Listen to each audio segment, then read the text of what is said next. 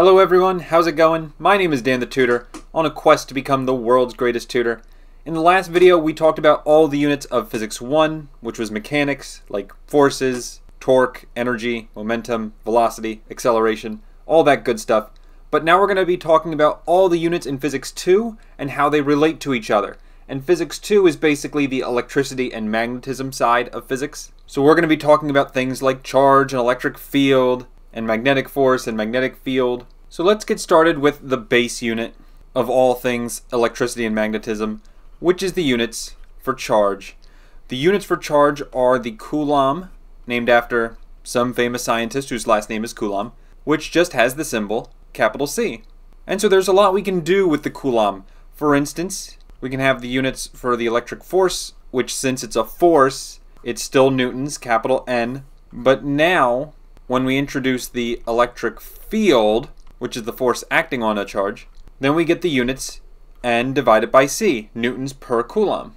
Then we have electric potential energy, which since it's an energy, it has the same units it had in physics 1, which is capital J, which stands for joules. But then we have this new quantity in physics 2 called electric potential, which is different than electric potential energy.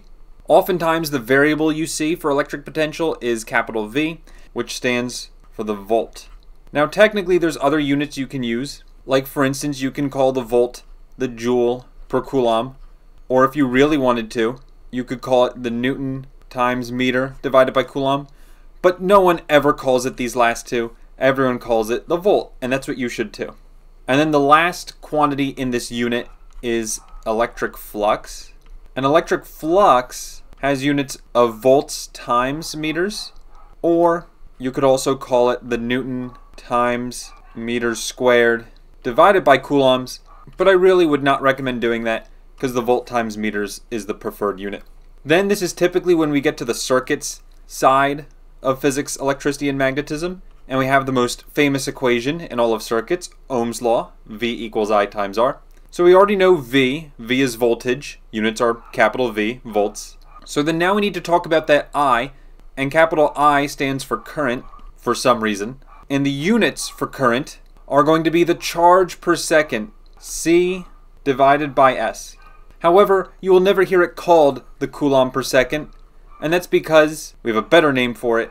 It is capital A, which stands for amps, or the longer name, amperes, but we can call them amps, and the symbol is capital A. And that's what I want you using for current. And then the last one on this list is the units for resistance. Now these are some of the hardest units to draw in the class because the unit is the ohm, which is symbol capital omega, which I'll be doing my best to draw here. Definitely take some practice to get good at that. And remember that this is called the ohm, lowercase o, h, m. And that's the units for resistance.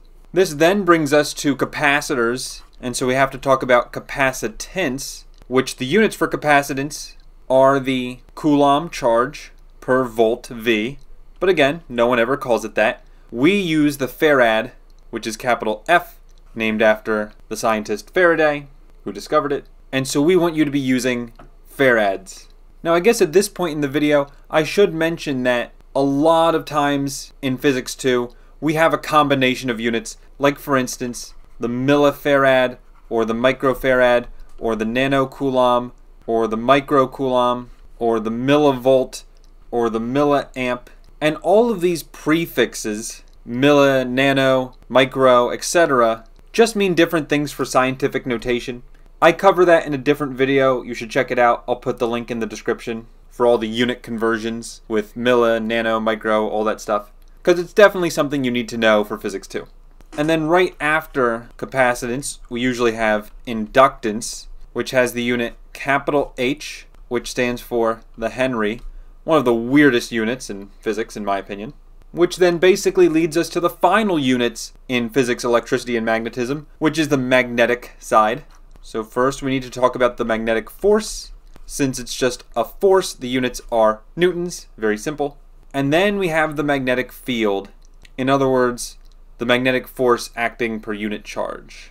Now, if I were to break up the units for the magnetic field, it ends up being the Newton times second divided by charge coulomb times meters m. However, no one calls it this.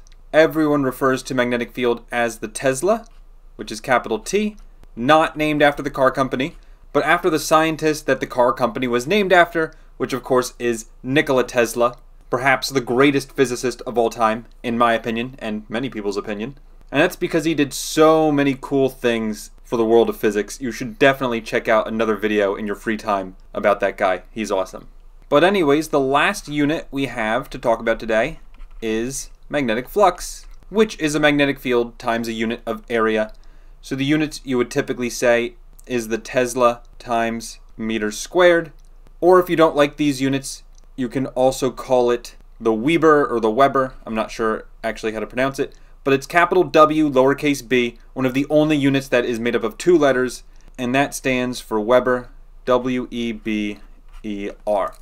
Personally, I like Tesla times meters squared better, but Weber, WB, is also 100% correct and frequently used. So with that, that's basically all the units I have for you today. If you think I missed any, please comment in the comment section below. Thank you all for watching. Have a great rest of your day, and I'll see you in the next video. Take care, and bye-bye.